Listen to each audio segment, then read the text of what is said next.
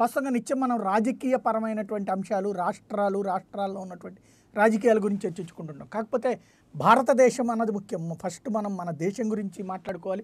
దేశ భద్రతకి సంబంధించిన సవాళ్ళు ఎదురవుతున్నటువంటి అంశాన్ని గురించి ప్రాంతీయ ఛానళ్ళలో చర్చలకి అవకాశం లేకుండా పోతుంది. అసలు ప్రస్తుతం కీలకమైనటువంటి పరిణామం చోటు చేసుకుంటుంది మన పొరుగునున్నటువంటి ఆఫ్ఘనిస్తాన్లో.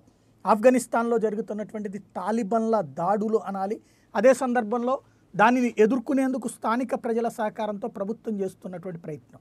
అక్కడ ఏం తేడా జరిగినా భారతదేశానికి కూడా భద్రతాపరమైనటువంటి ముప్పు పొంచి ఉంటుంది. ఇలాంటి నేపథ్యంలో ఆఫ్ఘనిస్తాన్లో జరుగుతున్న పరిణామాలు భారత్ మీద ఎలాంటి ప్రభావం చూపెడతాయి?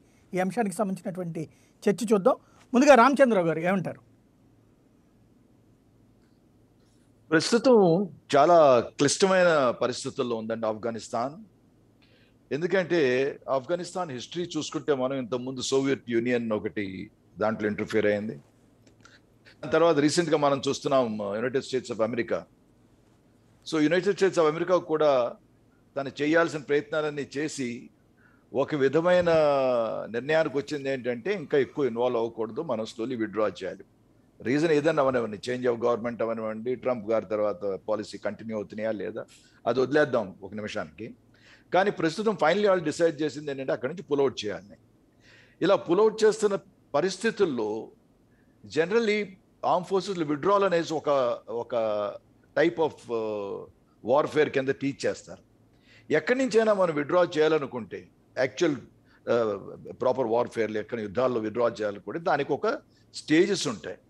ఒక విధంగా ఏంటంటే కన్సాలిడేట్ చేసుకుంటా కన్సాలిడేట్ చేసుకుంటా నెమ్మదిగా విడ్రా అయితే స్టెబిలిటీ ఉంటుంది విడ్రా కేసుల్లో కానీ ప్రస్తుతం జరిగిన పరిణామాలు మనం చూస్తుంటే ఆఫ్ఘనిస్తాన్లో ఒక విధంగా యుఎస్ పూర్తిగా కంట్రోల్ ఆఫ్ఘనిస్తాన్ గవర్నమెంట్కి లేదు ఒకటి. రెండోది తాలిబాన్ని వాళ్ళ డిస్కషన్స్లో సంధి ప్రకారంగా ఒక విధంగా డిస్కస్ చేసిన తర్వాత తాలిబాన్ కూడా తీసుకొచ్చింది. సో ఇప్పుడు ప్రస్తుతం ఉన్న ఆఫ్ఘనిస్తాన్లో ఏంటంటే తాలిబాన్ ఒకవైపు ఉంది మనకి ఆఫ్ఘనిస్తాన్ గవర్నమెంట్ ఒకవైపు ఉంది. తాలిబాన్ ఖచ్చితంగా ఆఫ్ఘనిస్తాన్ గవర్నమెంట్ ముందు ఒప్పుకున్నా సరే బిహైండ్ ద సీన్స్ ఏం జరిగింది అమెరికాది కొంత బయటకు వస్తుంది కొంత బయటకు రాదు. కానీ ఖచ్చితంగా తాలిబాన్ మటుకు ఆఫ్ఘనిస్తాన్ మ్యాక్సిమం ఎంత పవర్ తీసుకుంటో అందులో ఎంత టెరిటరీ కంట్రోల్ చేయగలదో ఖచ్చితంగా ట్రై చేస్తుంది. ప్రస్తుతం ఉంది అబ్సల్యూట్లీ క్యూస్ సుమారు ఒక ఫిఫ్టీ పర్సెంట్ ఆల్రెడీ కొంతమంది థర్టీ పర్సెంట్ అంటారు కొంతమంది ఫార్టీ పర్సెంట్ అంటారు. ఆఫ్ఘనిస్తాన్ కంట్రోల్ ఆల్రెడీ తాలిబాన్ చేతుల్లో ఉంది. ఒకటి.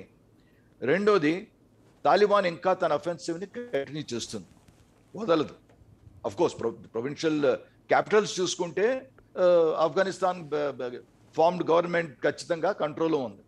కానీ తాలిబాన్ మాత్రం ఊరుకునే స్థితిలో లేదు. దానికి తోడు ఈ ఏరియాలో ఒక ఇంట్రెస్టెడ్ నేషన్స్ కూడా చుట్టుపక్కల చాలా ఉన్నాయి. చుట్టుపక్కల ఉన్న nations like for example Pakistan ఉంది ఒక పక్క ఇంకో పక్క చైనా ఉంది ఇరాన్ ఉంది బోర్డరింగ్ ఈ కాకుండా దా ఆఫ్ఘనిస్తాన్లో ఇన్స్టెబిలిటీ ప్రశాంతత లేనప్పుడు దాని ఎఫెక్ట్ పడే దేశాలు కూడా ఇక్కడ ఉన్నాయి. తజ తజకిస్తాన్ ఉజ్బెకిస్తాన్. సో ఇలాంటి దేశాలు కూడా సో వీళ్ళందరూ ప్రస్తుతం ఏ దేశమైనా సరే కోరేది ఏంటి అక్కడ ఒక విధమైన స్టేబుల్ గవర్నమెంట్ ఉండాలి. కానీ ఇందులో ఏంటంటే డిఫరెంట్ ప్లేయర్స్ ఉన్నారు. కొంతమంది ఏంటి తాలిబాన్ సైడ్ మనం ఉండాలి కొంతమంది ఏమో ఆఫ్ఘనిస్తాన్ గవర్నమెంట్ సైడ్ మనం ఉండాలి. సో ఈ డిఫరెన్స్ ఆఫ్ ఒపీనియన్ ఉన్నప్పుడు పబ్లిక్గా ఏంటంటే మనం తాలిబాన్ ఏ కంట్రీ కూడా చెప్పలేదు. మేము సపోర్ట్ చేస్తున్నాం అనేసి. విలీ నెలి ఏంటంటే బిహైండ్ ద సీన్స్ కింద వెనకాల దాగుడు మూతలు ఆడుకుంటూ తాలిబాన్ కూడా ఖచ్చితంగా సపోర్ట్ ఇస్తున్నాయి. ఇందులో మెయిన్ ఎఫెక్టెడ్ ఎవరు? ఇమీడియట్గా Pakistan is one of the worst affected దేశం అనుకోవాలి. ఎందుకంటే ఆఫ్ఘనిస్తాన్ నుంచి రిఫ్యూజ్ వస్తారని భయం వాళ్ళకి. ఆఫ్ఘనిస్తాన్లో ఇన్స్టెబిలిటీ ఉంటే కొంత తన దేశంలోకి వస్తుందని. తర్వాత ఇప్పుడు పాకిస్తాన్ ఏంటి ఆలోచిస్తుంది? అమెరికన్స్కి మనం బేస్ ఇవ్వాలా? ఎందుకంటే అమెరికన్స్ పూర్తికి వెళ్ళిపోలేదు. ఏమన్నారంటే మేము ఇక్కడ నుంచి గ్రౌండ్ ఫోర్సెస్ విత్డ్రా చేస్తున్నాం. బట్ అవసరం వచ్చినప్పుడు ఖచ్చితంగా ఎయిర్ ఫోర్స్ని ప్రామిస్ చేశామన్నట్టుగా గవర్నమెంట్ కూడా చెప్పారు.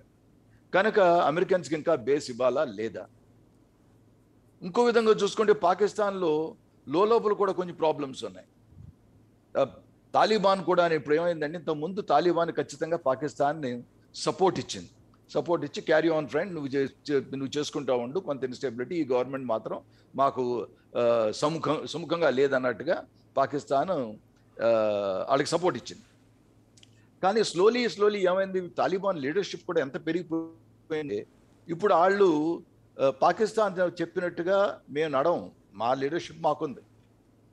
కనుక ఒక విధంగా ఇండిపెండెంట్ థాట్స్తో స్టార్ట్ అయ్యారు. పాకిస్తాన్ ఎంత ముందున్నంత ఫర్మ్ కంట్రోల్ లేదు తాలిబాన్ మీద. రైట్ అండ్ సిమిలర్లీ ఇప్పుడు చూసుకుంటే చైనా కూడా అలాగే ఉంది. చైనా ఏంటంటే China also has some interest ఎందుకు ఇంట్రెస్ట్ అని ఏదో రీసెంట్గా ఒక mind field copper mind field తీసుకున్నారు త్రీ బిలియన్ లీజ్కి అనేసి సో ఒకటి. రెండోది ఏంటి? China is always got primary focus ఏంటి ప్రైమరీ ఫోకస్ uh, ప్రపంచంలో మనం నెంబర్ వన్ స్థాయికి చేరాలి అనేసి. కనుక అది ఎన్ని విధాలైన ఖచ్చితంగా ట్రై చేస్తుంది. ఎక్కడెక్కడైతే ఇన్స్టెబిలిటీ ఉందో నేను అక్కడ చేరి ఒక బిగ్ బ్రదర్ లాగా ఇక్కడ స్టెబిలిటీ ఇవ్వగలనా? వీళ్ళందరినీ కంట్రోల్ చేయగలనా? సో అటు చైనా ఇంట్రెస్ట్ ఉంది. ఇంతవరకు బయటపడింది ఏంటి ఒక విధంగా చెప్పాలంటే ఇరానే. Iran is a huge nation కానీ ఇప్పుడు ఇరాన్ ఇంతవరకు తన ప్లాన్స్ ఏంటి? తను ఎడ్ సైడ్ ఉన్నట్టుగా ఇంతవరకు of course they have the same Shia Shias Sunni difference ఉన్నాయి అక్కడ. అయినా సరే ఇంత ఇంతవరకు ఇరాన్ ఏం చేస్తుంది అన్నది మనకి ఇంకా క్లియర్గా తెలవటం లేదు. ప్రస్తుతం ఉన్న పరిస్థితి